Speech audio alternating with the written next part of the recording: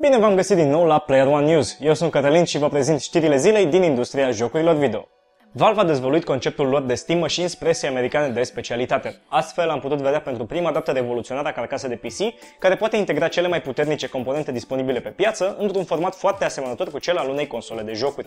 Se pare că secretul este aerisirea, întrucât fiecare componentă în parte are un spațiu dedicat în interiorul carcasei, cu fante care permit circularea aerului cald spre exterior. Dezvoluirea altor Steam Machines realizate de alți parteneri va fi făcută în ianuarie la Computer and Electronics Show 2014.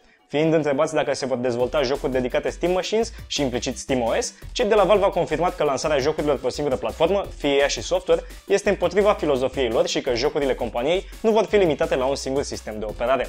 Ar trebui astfel să ne mai liniștim în legătură cu posibilitatea lansării unui Half-Life 3 doar pe SteamOS. În sfârșit avem detalii oficiale despre următoarea parte a seriei Metal Gear Solid. Până în prezent nu era clar dacă Ground Zeroes, episodul care pornește evenimentele din Metal Gear Solid 5, venea în același pachet.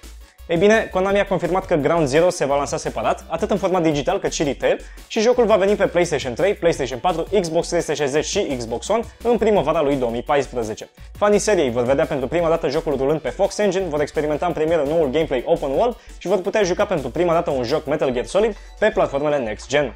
Ce ar trebui să ne îngrijoreze însă este prețul, întrucât Ground Zeroes costă 30 de euro pe PS3 și Xbox 360 în variantă retail și 20 de euro digital, în timp ce varianta Next Gen va fi disponibilă doar digital la prețul de 30 de euro. Pentru un demo de câteva ore, prețul este puțin cam exagerat. Fără nicio avertizare, Sony a lansat varianta 3.0 a firmware-ului pentru PlayStation Vita. Acesta pregătește consola portabilă pentru noua generație, oferind posibilitatea de a interacționa cu PlayStation 4. Astfel, prin intermediul aplicației PS4 Link, Vita poate fie să preia controlul fratelui său Next Gen prin Remote Play, fie să-i devine companion în modul Second Screen. Alte noi capabilități sunt partichat alături de utilizatorii de PS4 și transferul de date între Vita și PS3 prin Wi-Fi. De asemenea, aplicația Friends a primit un facelift bine meritat, iar utilizatorii de PlayStation Plus pot activa acum funcția de instalare automată a update-urilor viitoare ale consolei.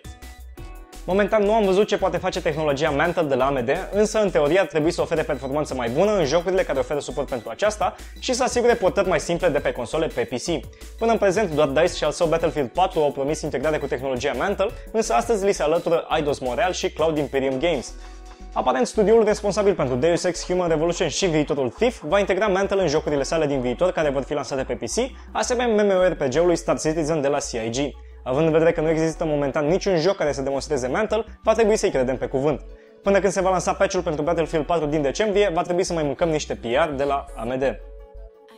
Faptul că Blizzard pregătește un nou expansion pentru World of Warcraft nu este niciun secret, însă este posibil ca înregistrarea noului trademark Warlords of Draenor să fie deconspirat numele acestuia. Se pare că Blizzard deține acum acest nume în Australia și Noua Zeelandă începând cu data de 1 noiembrie, iar site-ul warlordsofdraenor.com a fost înregistrat în octombrie de o companie necunoscută. Nu ar fi prima dată când o astfel de informație este făcută publică din astfel de surse, pentru că expansionul lui Diablo 3, Reaper of Souls, a fost dezvăluit într-un fel similar în urmă cu câteva luni. Probabil vom afla mai multe detalii despre planurile celor de la Blizzard în cursul acestei luni, pentru că BlizzCon-ul de anul acesta este foarte aproape.